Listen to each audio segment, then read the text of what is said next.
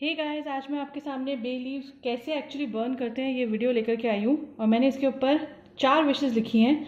उसके अंदर से पहले मैं आपको बताती हूँ जनरल विशेज़ बिकॉज़ मुझे रिलेशनशिप्स uh, मेरे लिए बहुत इंपॉर्टेंट है तो मैंने इसमें एक जनरल विश लिखी है लविंग रिलेशनशिप फिर मेरे लिए अपने सब्सक्राइबर्स भी बहुत इंपॉर्टेंट है तो मैंने इसमें लिखा है हैप्पी सब्सक्राइबर्स फिर जो दो चीज़ें जिसमें मेरे को अभी और काम करना है। एक तो मेरी ईटिंग हैबिट्स मुझे अच्छी करनी है गुड ईटिंग हैबिट्स एंड दूसरा, मैंने अपने लिए लिखा है फिफ्टी फिफ्टी थाउज़ेंड सब्सक्राइबर्स तो इसमें देखिए, मैंने नीचे अपना नाम भी मेंशन किया है।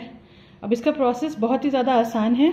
आपको क्या करना है, जैसे कि मैंने कैंडल चला रखी है तो सबसे पहले मैंने, मैं लेती हूँ लविंग रिलेशनशिप्स वाले। आप इसको ऐसे हाथ से भी पकड़ सकते हैं या इसकी हेल्प से भी पकड़ सकते हैं।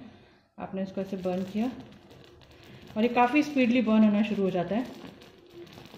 And you have to of course आपको ध्यान रखना है कि आपको, आप खुद को हर्ट नहीं कर लें। एंड देन एक ऐसा बर्तन रखना है जिसके अंदर आप इसको रख दें अगर ये पूरा नहीं भी चलेगा तो कोई प्रॉब्लम नहीं है विश पूरी हो जाएगी डोंट वरी तो आप इसको रख सकते हैं। वैसे ही आप दूसरा हैप्पी सब्सक्राइबर्स वाला मैं इससे पकड़ती हूँ, जिससे कि मैं एंड तक इसको कर पाऊँ।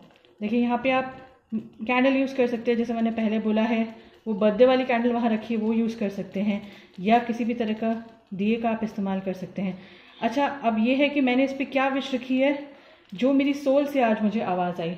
कल हो सकता है अगर मैं कल ये वीडियो बनाने वाली थी, कल मैं कुछ और विश लिखती, आज मैं कुछ और विश लिख रही हूँ तो आप वही विश मांगिए। अगर आपको ऐसा लग रहा है, जो आपके अंदर से जो आपको लग रहा है, वो विश मांगिए, जिससे कि आपका सीधा कनेक्शन सेटअप हो।